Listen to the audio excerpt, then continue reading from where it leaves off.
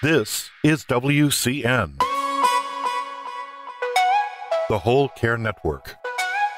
You talk, we listen. Content presented on the following podcast is for information purposes only. Views and opinions expressed during this podcast are solely those of the individuals involved and do not necessarily represent views of the Whole Care Network. Always consult your physician for medical and fitness advice, and always consult your attorney for legal advice. And thank you for listening to the Whole Care Network.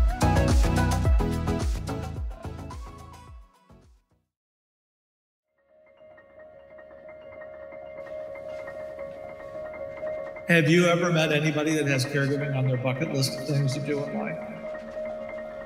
Beyond caregiving, how do we care? We also have to care for ourselves. How do we treat friends, family, strangers we meet? Ah, forget it. How do we heal? The physical, social, financial, spiritual.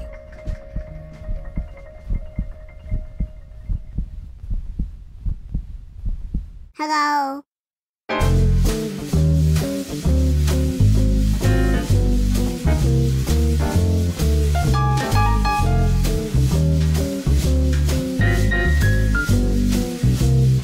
By creating healing ties. Tying it all together like a bow tie. With your host, Christopher MacLellan, the bow tie guy. Well, greetings, everyone. It is Christopher MacLellan. You might know me as the Bowtie Guy for another episode of Healing Ties 2.0 featured on the Whole Care Network.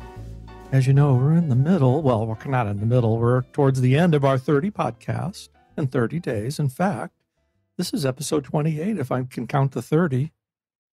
Yeah, episode 28. So 29 and 30 is coming on Monday. But we are um, doing these episodes to support National Family Caregivers Month and to kind of tickle our listeners about our new uh, Whole Care Network website, which will be, be debuting hopefully on December 1st. But you know about technology, you never know. But uh, that's what we're gearing towards. And but you can get a sneak preview of our new website by going to our old website, thewholecarenetwork.com. You'll see the link immediately on the front page. And then when you get to the new site, you'll meet a person by the name of Bo. That's because Bo ties things together on the Whole Care Network. I'm sure as soon as you get a look at Bo, you're going to get it 100%. And we're asking all of our listeners to provide us some feedback on the new site because we want to build a site that works for you.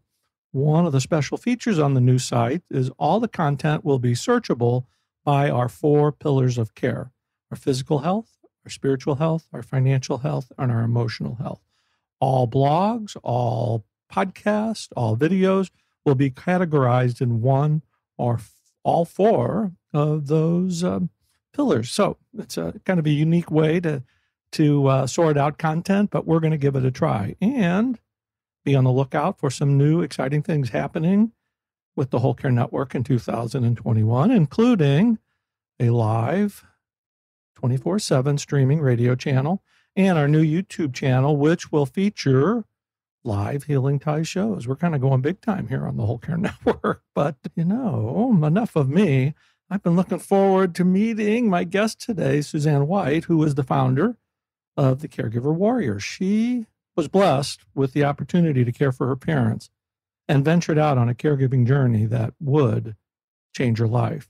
She blogs about this journey on her website, caregiverwarrior.com, and shares her experience, strengths, and hopes with others so that they too may survive caregiving with grace and empowerment.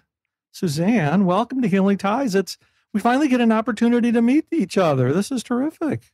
I know it's so wonderful. It's Chris the Bowtie guy. How are you? We're doing great here in Florida. You know, and I I, I have to say I didn't. I'm not sure where you're. Where are you located? I am in Brooklyn, New York. Uh, Brooklyn, New York. You know, my my partner Richard was born and raised in Brooklyn. Oh, Yeah. He's a real Brooklyn. I'm a He's Jersey a real, girl. oh goodness. He, So it's wonderful that he's a real Brooklynite. he was a real Blickman. So if you haven't had a chance to read our story or see the video, he still, even into his 82nd year, he still had his Brooklyn accent. But Oh, that's great. He deserves that Brooklyn accent. If you have it, you Brook- deserve. I think I have a little bit of it too. yeah, yeah, yeah, just a little bit. But my, this is this makes it even more special. But you know, we've been we've been following each other for a long time on social media. Years. We, you know, we, we're aware of each other's work. I've admired you from afar, and now mm. I get the opportunity to talk with you. I know a little bit about you and your work. I love the being. I love the warrior tag, but let our listeners know a little bit about you and why you're doing what you're doing. And we're going to get into a little bit of chat about the caregiver warrior. Excellent, excellent. I lo- as you know, I love to hear myself talk, so I, I just say I love this opportunity. oh, it's so funny, and I love that you love the warrior, the warrior tag that I I put to caregiving because I I just believe that you know as caregivers all know we are fighting every day for our loved ones, you know, and I look at the battlefields as healthcare and medical crisis and medications and emotional states. And I just think that warriors are kind of born with this chip to take care of others and serve others, and caregivers most certainly are warriors. So, like that's why I really kind of support caregivers and, and their trials and and how they how they meet their challenges of everyday life. And I think that's one of the reasons why we all connect with one another, even though we may not know each other personally per se. We understand the stories and the experiences, which brings us to an immediate connection. Absolutely. I mean, we're all so different. We're all so mm-hmm. unique, but we all are on the same journey. I feel like there's this big road that we walk down, you know, and I think it's wonderful when we can connect with each other and hear each other's stories because that's, I mean, that's where the empowerment is and the grace. I mean, it's that we can share with each other and not feel alone. I know Right. that, uh, you know, I, so often I, I was fortunate in that I knew at some point during my caregiving journey with my parents that I had to take care of myself, and I always wanted to ride horses. So I, you know, angels spoke to me, and I found this barn right near my parents' house, and I would go every Sunday morning, no matter what. And it ended up being we were all taking care of someone. Everybody I rode with for that hour on Sunday, we were all caregivers. And I, if I heard once, I heard it 14 times. They don't tell you about this. They don't tell you this, you know. And I mean, and that's and I and that's what caused me to say to myself, if at some point I have to share what I'm learning and the mistakes I'm making with other Right. people, so that caregivers can get some relief because it is it's very confusing even though it's kind of all the same journey it's very very different challenges all the time Exactly, because everybody's lives are different. Uh, but caregiving, and I, I know this is kind of repetitive for my listeners, but you know, caregiving happens because of one or two things: an unfortunate accident or an untimely di- diagnosis, and suddenly you're thrust into this role. And the role plays out differently for everybody, but there's so, a lot of similarities uh, that take place as well. Absolutely. I mean, and, and talk about being thrown into it. You know, my parents, my dad was a World War II bombardier pilot, very stoic um, Okay. guy. You know, he was a real hero. And my mom was this little sort of Irish Catholic fireball.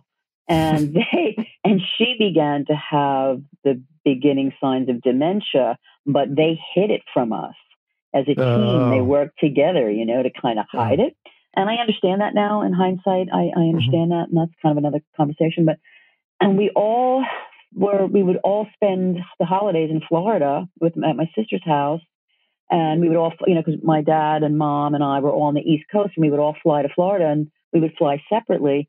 And my sister called me one holiday season and said they had to take Daddy off the plane. He was so sick they took him off in a wheelchair. And we were like, Right. "What?" I mean, this is a guy who flew airplane. I mean, you know.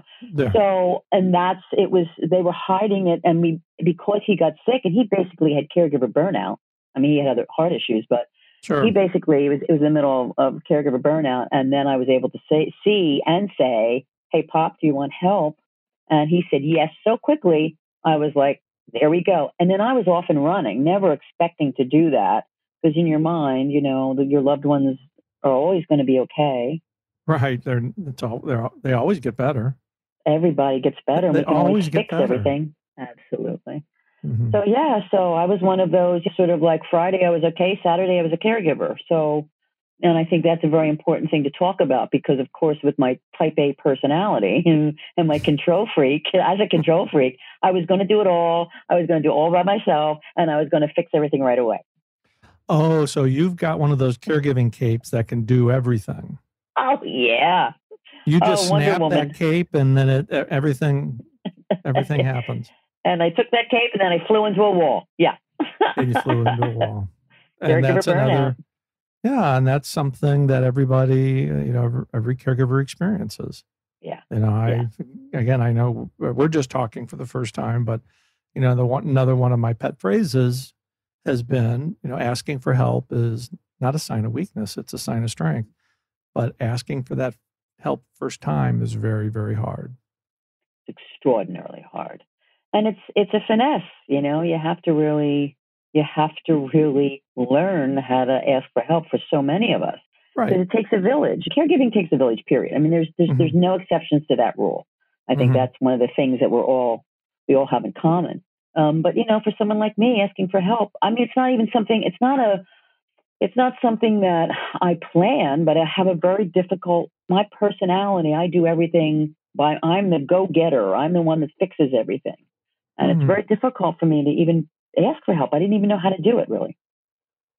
Yeah, it's it is a skill that you ha- yet you have to learn over time, and then and part of that skill is uh, realizing that it's it's okay. It's not a. It doesn't mean that you're not the best caregiver. It just means that you're not the only caregiver.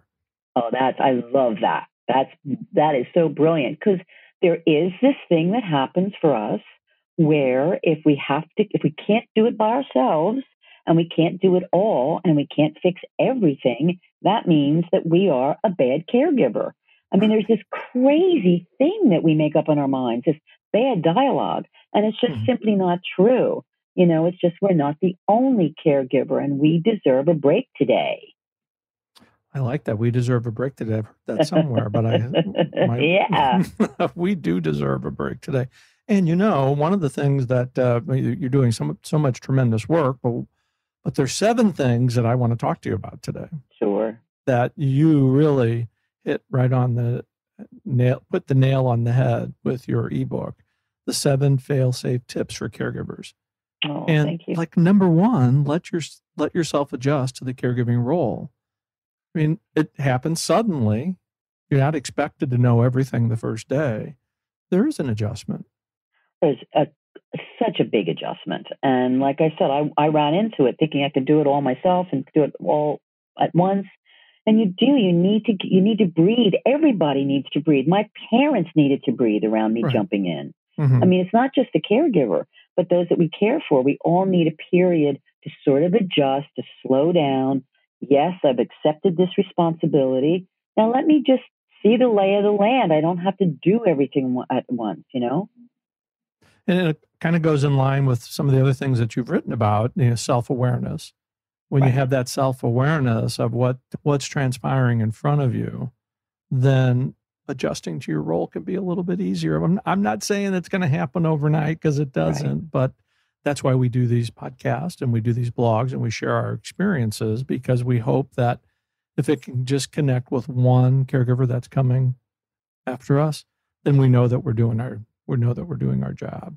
Absolutely. I mean, that's the goal, one caregiver at a time. And that self awareness is, for me, that's that's the foundation you build the the caregiving house on is Mhm. self awareness. I mean, if I had to learn a lot of things about myself, not only about my parents and their needs and their health, but I had to learn a lot about me Right. and be self aware of what I was going through and what I was doing so I could make the adjustments and make the entire process easier. Yeah, because it's uh, it's almost like having uh, two relationships in one. You have that pre-established relationship with, in this case, with your parents, and then this caregiving relationship comes in, and it it is a different relationship. It's a different set of responsibilities, and it's a different skill set as well, trying to separate the two when it's next to impossible to do that. It really is. And that's a big pillar of my self awareness because my mom and I did not get along. I mean, we were ju- we were very similar, which which is part of my self awareness. Uh, um, very good. Very very similar, and um, you know there was just a lot of history there. And my mom, you know, my mom had dementia, so she couldn't. I mean, she couldn't change. I couldn't mm-hmm. ask her to change. So if our relationship was going to heal or get better, I had to change. And the only way to make that change is the self awareness to really say to myself, like, why am I getting so annoyed now? Or why mm-hmm. am I so scared now? You know, what's really going on for me? And right. how, how can I be aware of that and kind of work on that on my end so that my behavior would change? So then the relationship with my mom would change. And that leads directly into your second tip, which is to take care of yourself. The, caregivers are notorious for uh, uh, avoiding their own self care, and and actually, self care is job number one for every caregiver. And and why is that? It's just so it's some of the most self selfless people in the world who will care, turn themselves inside out to care for others, completely ignore themselves. So I mean, it's it's a strange thing that most of us, ninety eight percent of caregivers have. Yeah, if I get sick, who's going to take care of them? Mm-hmm. I mean, I've got to take care of myself, and, and I love you. You know, the emotionally, spiritually, financially, physically. I mean, they all fall apart. Ah, they all fall apart because your absolutely your attention is to somebody else, and it's not to it's not to yourself, and it's right. it's not selfish. It's just something that you have to adjust to. Right. It's dangerous. Yeah. It's dangerous if you don't take care of so. yourself. Yeah. I mean, it can really be dangerous. Yeah. And we already we've already touched on your third tip, asking for help. So we've we've got that covered, and we we both know that it's uh, it's a sign of strength when you ask for help, but it's not Absolutely. easy. But you hit on the, your your fourth tip, compassionate. Know, I'm a strong believer that uh, there's no greater honor that can be bestowed on another person than the care, being trusted with somebody else's care, especially at end of life. Uh, but that doesn't mean it's uh, it's not have peaks and valleys. Yeah, it's, it's a struggle. It's you know, and, and depending on what your relationship is and and how tired you are, there's there's a big soup of emotion, um, especially at end of life. And I think compassion and empathy. I think I think the two of them, although different, they're very similar. And I think right. that for me, the big there was a big light bulb that went off for me when I saw my mom one day. Um, had, we had a big calendar in front of the refrigerator um, that you know she could see all her doctor's appointments, and I saw and I'm going to start to cry, but I saw the poor little thing like pointing to a square on like one date, and I could just tell she couldn't get it. She had mm-hmm. no clue what was what was written there. She couldn't make, and she just had this look on her face and it was heartbreaking. My heart broke, but mm-hmm. it just it just opened my heart to have such extraordinary empathy and compassion for her. It changed the whole right. game for me right then and there. Not that I wasn't compassionate or empathetic before, because I think I'm a very kind person, but it just made me see that she was in this world and she was so frightened. And, you know, no matter what she did or what she said, I had to be patient and, and loving and kind and soft. You know, one of the one of the lessons I learned in the midst of taking care of Richard, uh, I learned so much from him. And I miss him quite a bit, even after six mm. years.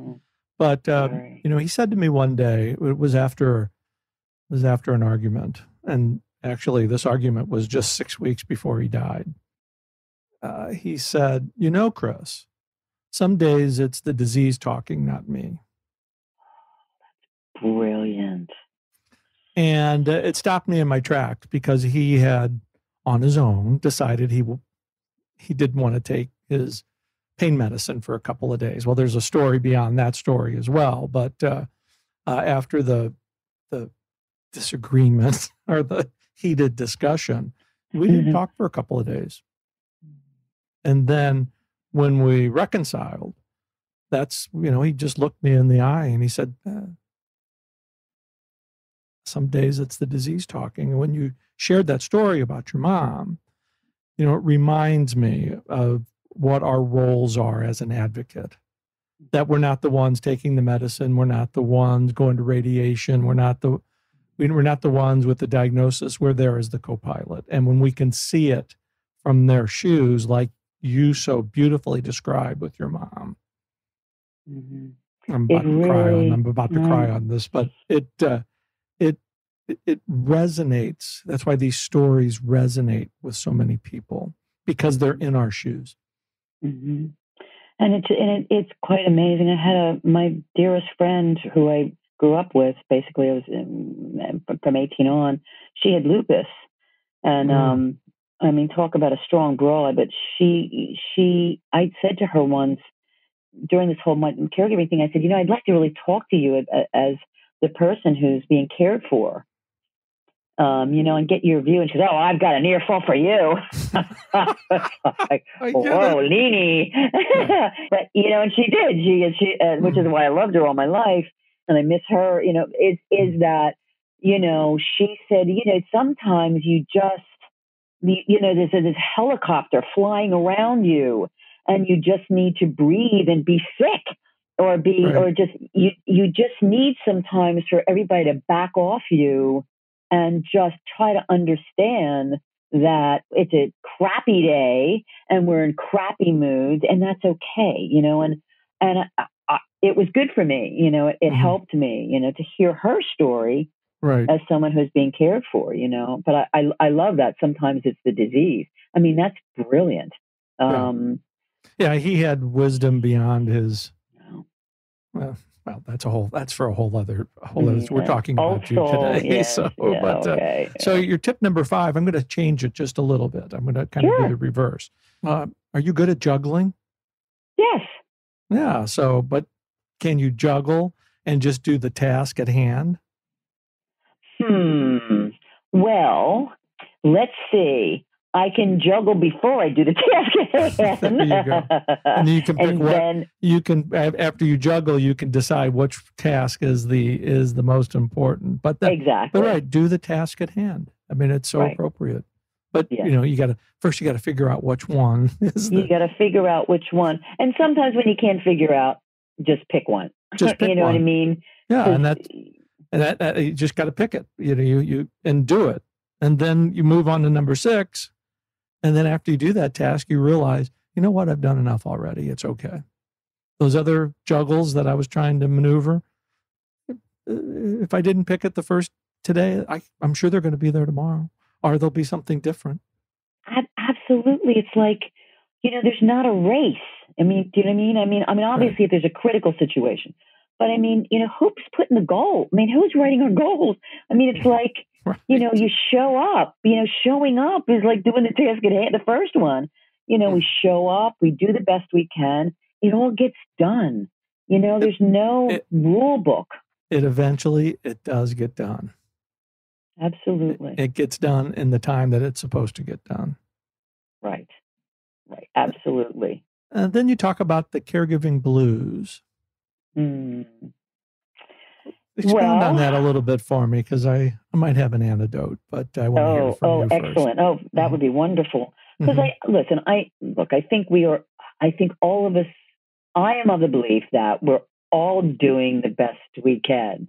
We're showing yes. up, most of us, showing and up, doing doing the best we can. It may mm-hmm. not work for other people around us, or you know, not everyone may agree with us. But the bottom line of it is, we're all doing the best we can having said that, there's times that I just felt like I couldn't go on, or I mean, you know, I got depressed, I got really sad, I had pre grief, I, I just, I, I was, everything would kind of start to tumble a little bit, and I would find myself with the caregiver blues. And I think the most important thing I learned about it was that you, it's okay to get the caregiver blues. It's okay to get down.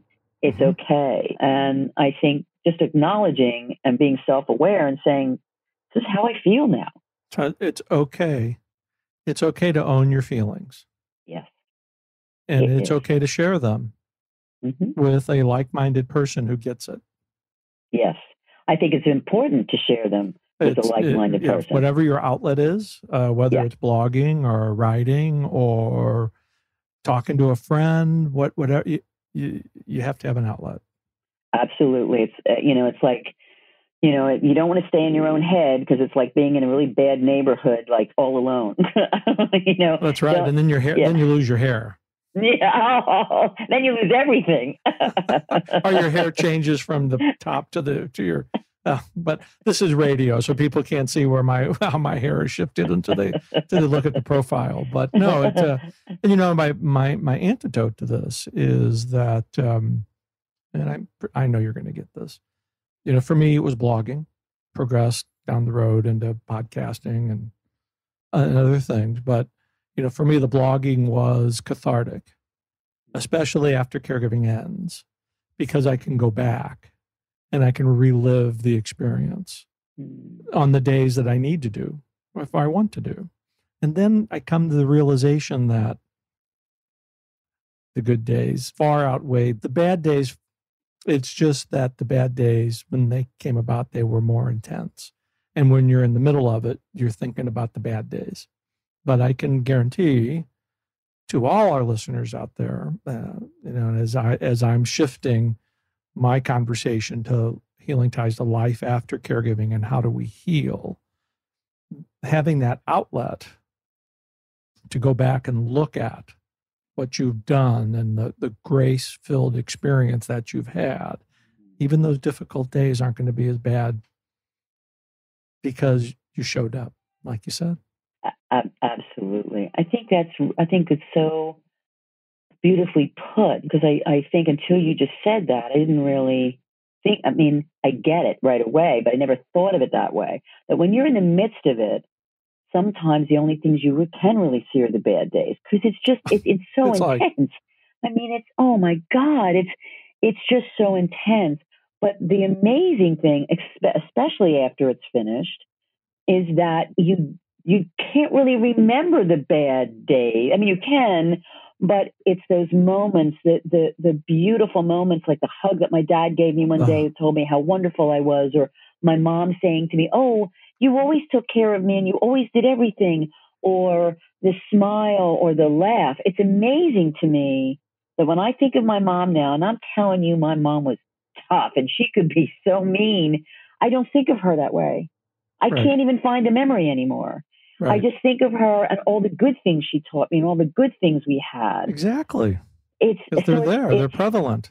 yeah, it's it's amazing. So I, Yeah. I think that you know it's a good thing to say to yourself in the midst of sort of these blues is that you know this too shall pass and Mhm. that this is this is temporary. It's temporary. It's temporary. Caregiving is temporary. It could Yeah. go for 10 years, it could go for three days. Yeah. Yeah. It's temporary. And Yeah. it's our duty instead to, to, to help the person entrusted with your care Yeah. go through it. And that's why you're a caregiver warrior. That's right. Exactly. Exactly. How do you like It's- that? I love that. I love that. okay. Well, Perfect Susanne, maybe very good. So tie. Now, this is a this sounds seems like a perfect time for us to take our break. Now you know, Susanne, doing this with all of our guests on our in our break. I'm 30 and 30 podcast. Uh, we want to know a fun fact about you that may not have shared uh, today so far, or I don't know about you, but I know our guests are going to want to know a fun fact about Susanne White. So put your thinking caps on. Dookie. Okay, so you're listening to Healing Ties on the Whole Care Network. We will be right back. Tomorrow on Healing Ties oh. 2.0. I'm a problem solver. So in trying to find, you know, how do I fix this? But there is no fixing. of There's no fix. And in No. trying to, but in in my quest of trying to find, well, what can I do? How do I do this better? What can I do in this situation? I would find all of these people. All of these people were out there, and everybody was in that same. Oh my God, what do I do? That's when I found daughterhood in looking for resources. And then I saw that they had these circles, and I thought, oh, I'm not doing a support group. I, have never done a support group. What's that? Right. not that embarrassing? How do you do that? I don't want to talk. I don't want to talk out of school, right, Chris? Like I'm not going to say anything. Right. You know, I get it. I, I, can't say that. I, right. You know. Mm-hmm. Hi, I'm Roseanne Corcoran, in-home caregiver, primary caregiver, sandwich generation caregiver, host of Daughterhood the podcast, and a Daughterhood circle leader. Join me tomorrow when I talk with Chris MacLellan, my brother from another mother, about all things caregiving. Join us tomorrow and every day in November for 30 shows in 30 days. Healing Ties 2.0, available at thewholecarenetwork.com slash healing ties and wherever you listen to your favorite podcasts.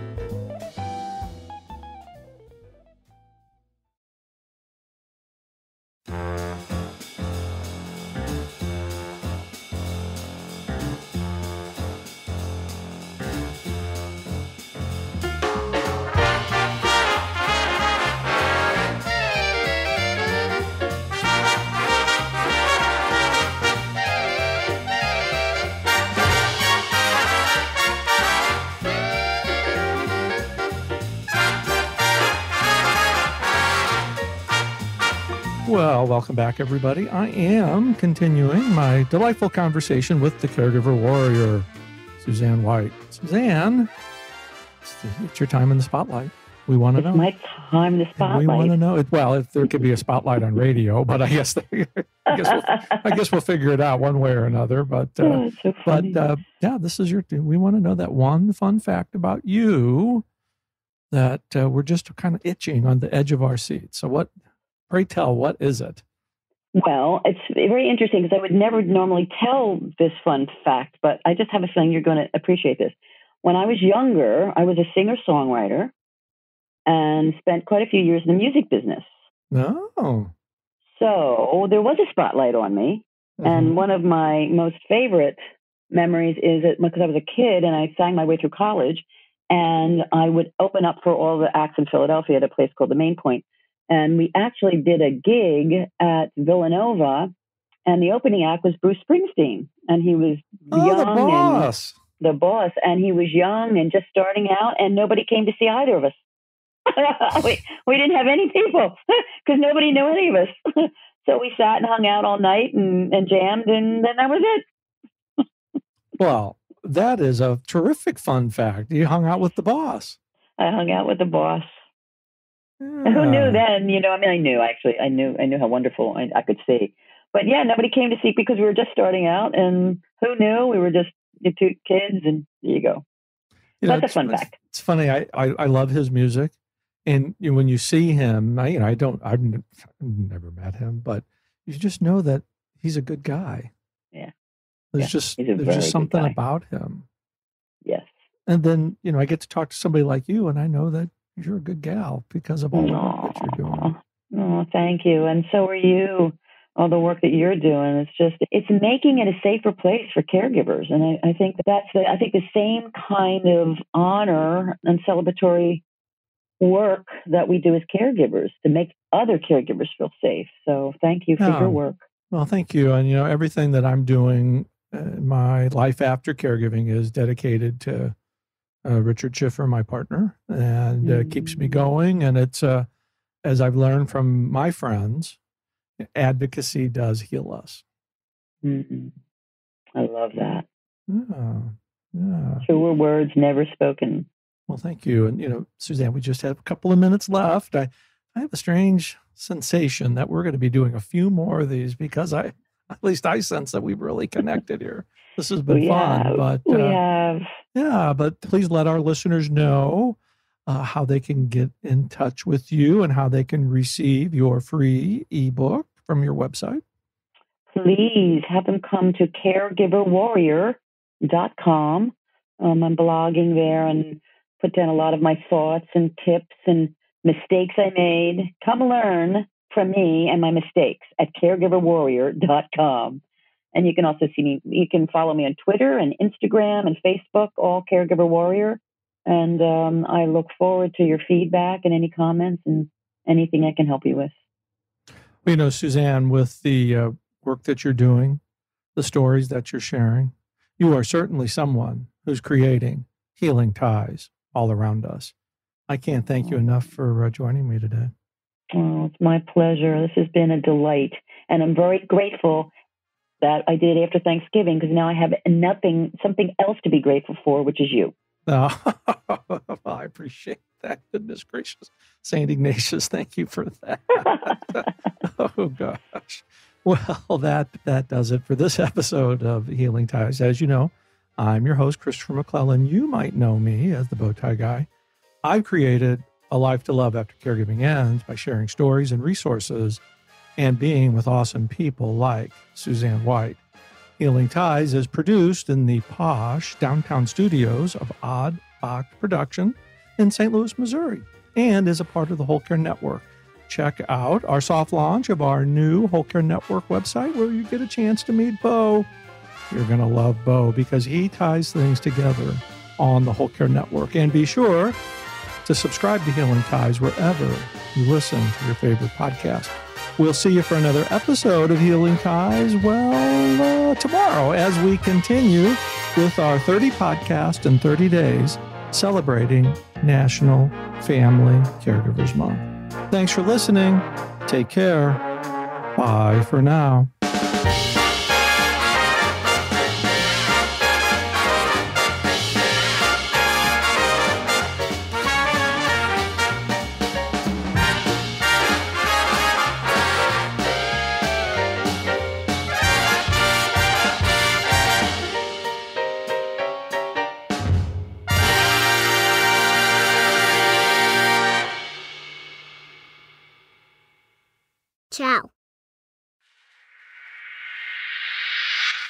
This is WCN, the Whole Care Network. You talk, we listen.